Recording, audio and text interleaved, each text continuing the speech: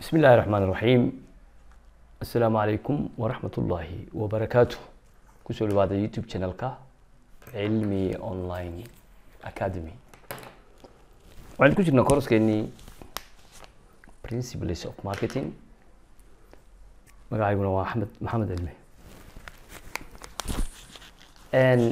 kooraskan intaynu ku jirno waxaynu raacaynaa bugga ay qoreen philip cotler gary armstrong. qeybta waxaynu ku jirnaa saddexaad gaar ahaan chapter eight products services and brands. Building customer value. cashirka maanta aynu waa cashirkii labayo tobnaad chapter eight. Chapter eight waxyaalaha aynu ku baran doono waxaa ka mid ah what is a product. Product and services. Service marketing. Branding strategy waxaynu ku jirnaa qeybta branding strategy-ga ama building strong brands. Waxaynu ku baranaynaa decisionska companiyadu ay sameeyaan in building markay dhisayaan and managing their brands. Qeybta serviceka ayaynu ugu dambeysiin doonaa haddii ilahay ka dhigo. Cashirka kii ka horreeyey waxaynu qaadanay introduction. Brandku maxay tahay? Ya? Brandka waxay tahay iyo allahuma salli calaa maxamed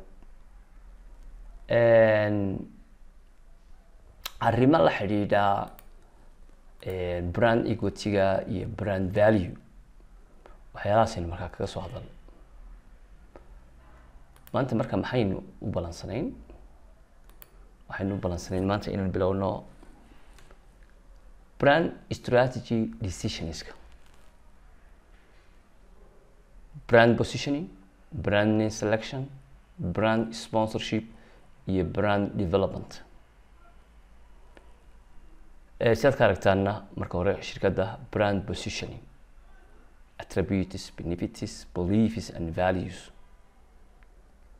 Brand positioning waxa weeye meeleynta brandka brandka inay maskaxda dadka consumerska ah ay ka dhaadhacdo ay fahmaan inay gartaan attributeskeedii waxyaalaha khawaasista u ah benefitskeeda beliefs and values. Brand name selection. Brand nameka waxay u baahan tahay in la xusho iyo protection in la ilaashado.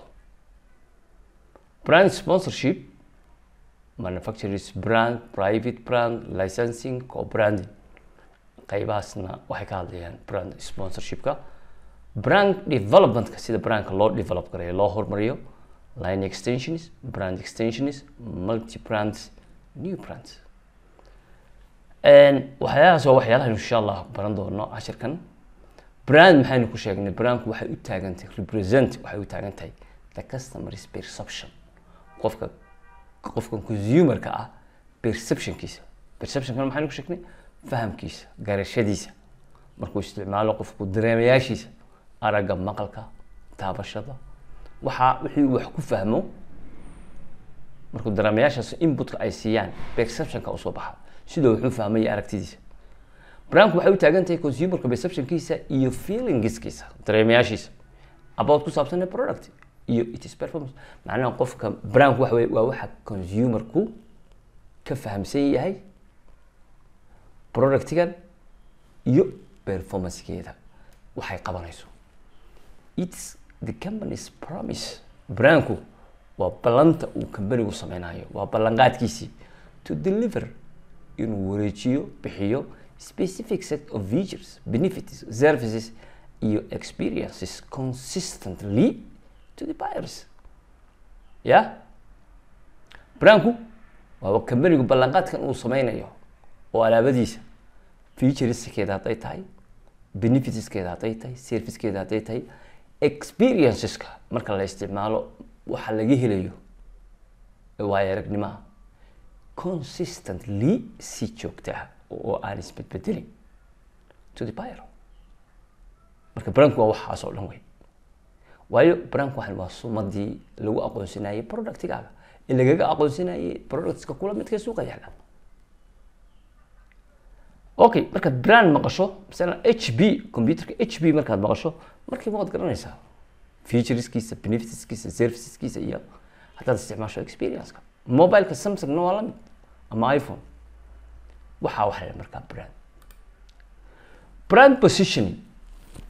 Haddaynu markaa stepka koowaad u tagno brandku waxay u baahantay positioning wax la yidhahdo brand strategy decisions include waxaa ka mid a product attribute product benefit product beliefs and values. Saddexdii harimood aynu soo sheegnay waxaa la yidhahdaa brandka positioningkeeda meeleynteeda marketers need waxay u baahan yihiin position inay meeleeyaan oo dhigaan. Their brandskooda clear la sicad in target consumers minds maskaxda consumerska inay inay degaan.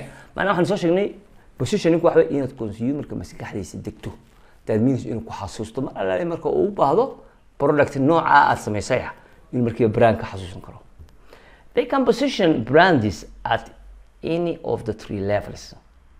saddexda level kay doonaan ya ayay dhigi karaan ama waxay qiimeyn karaan attributiska ama benefitska ama waxay ka aaminsan yihiin iyo valueska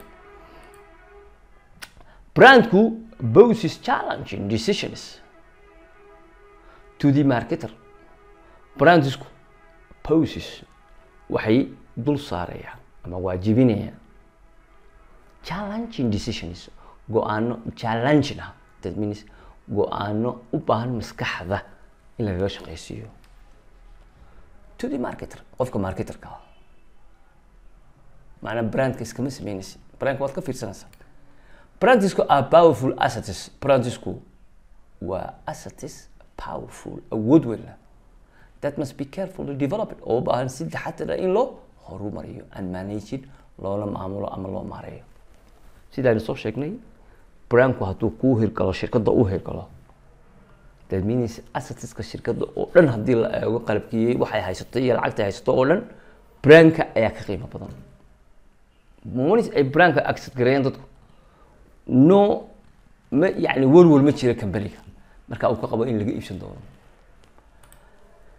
Building strong brands involves many challenging decisions. Marka la sameynayo branding ya in la sameeyo strong brand challenging badan baa jira.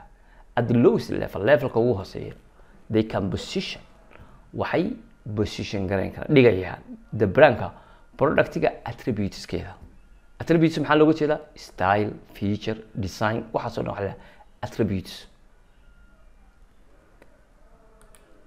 in general however attributes are the least desirable level for brand positioning laakiin ogow kuwa aynu soo kirnay attributeska ah oo styleka iyo featureska iyo designka waa the lowest waa kuwan u hooseeya ama least desirable level waa levelka u hooseeya ee la doonayo for brand positioning competitors can easily copy.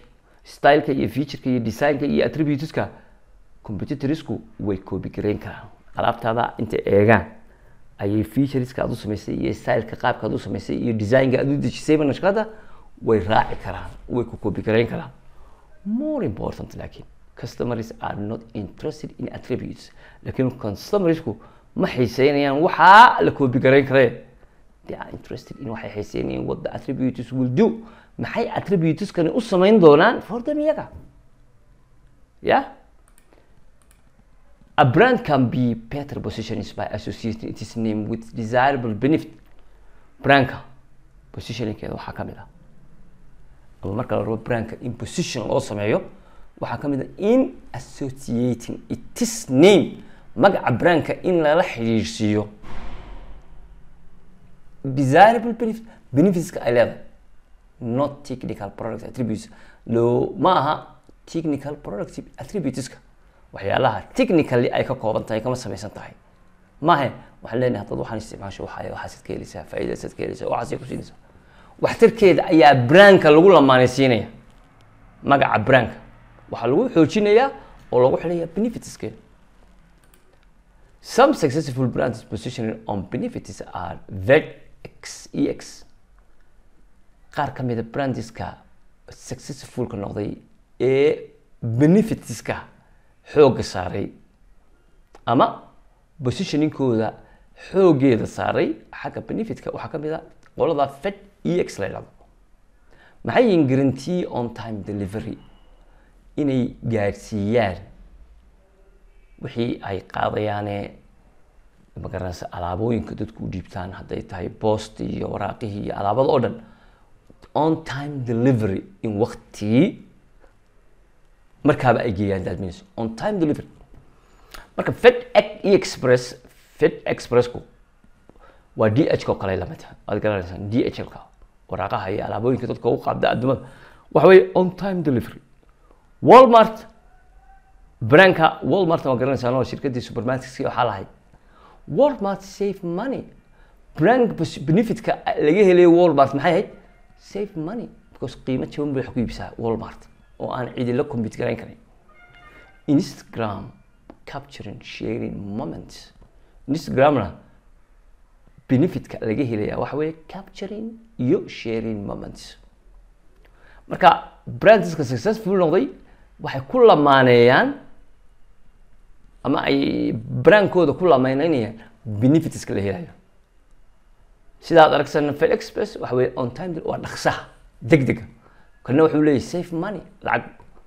Waa macnaa discount stores weeye mogta anyway the strongest brands go beyond attribute or benefit position.